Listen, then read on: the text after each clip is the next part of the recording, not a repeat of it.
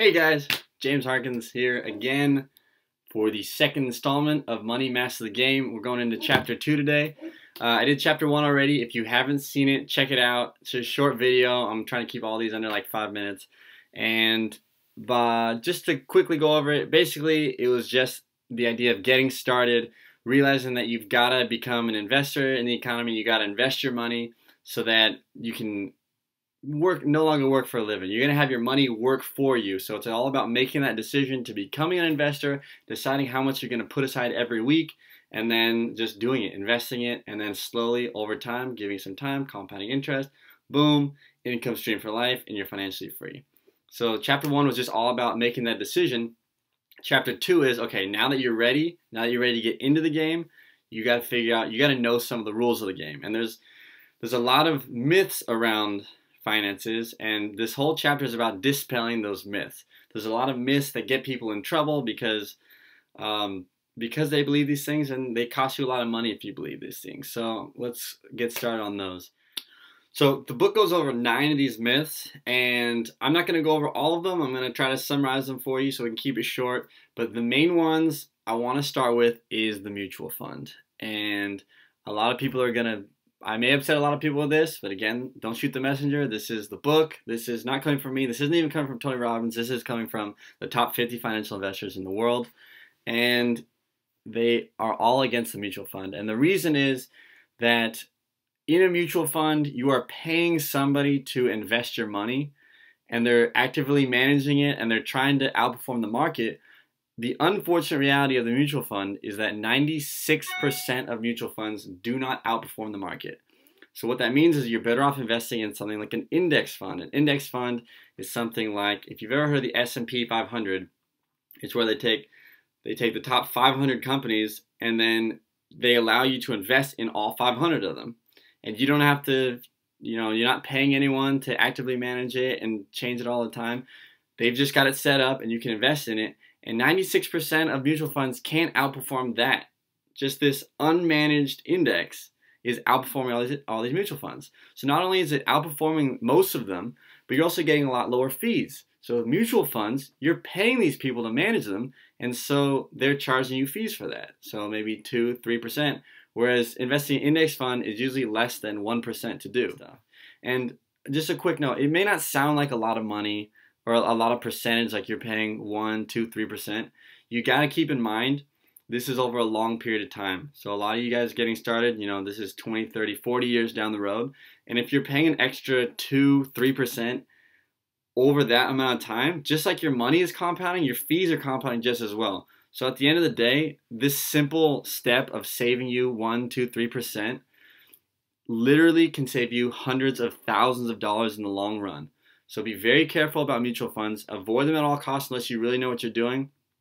My guess is, though, for most of you, just stick with index funds and you'll be safe.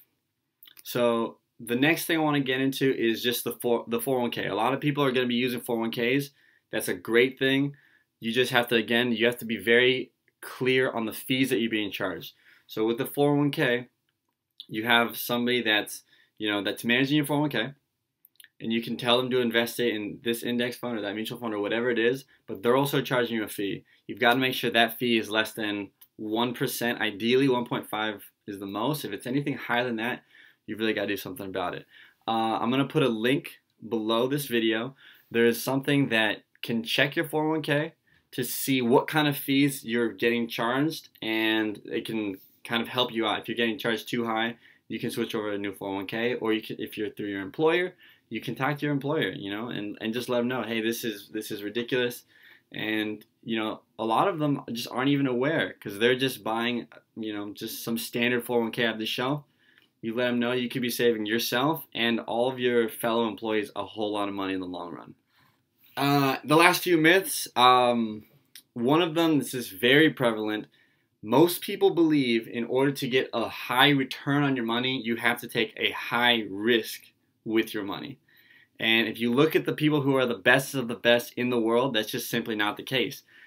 The top guys, the like the Warren Buffetts, etc.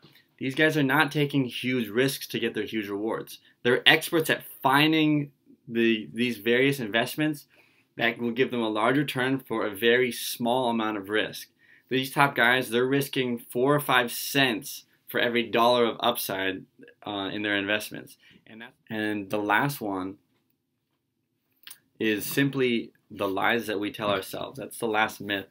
And this is kind of getting out of the financial realm and kind of into the Tony Robbins specialty, the the mental stuff.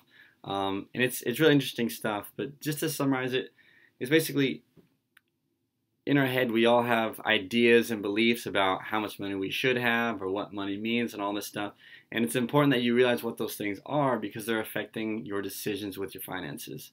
So, for example, a lot of people, myself included, I used to believe rich people were greedy and selfish and all these kind of neg- I had all these negative associations to wealthy people. And the problem with that is that subconsciously, even if you're not aware of it, you are not going to allow yourself to become wealthy if you believe all these negative things about wealth.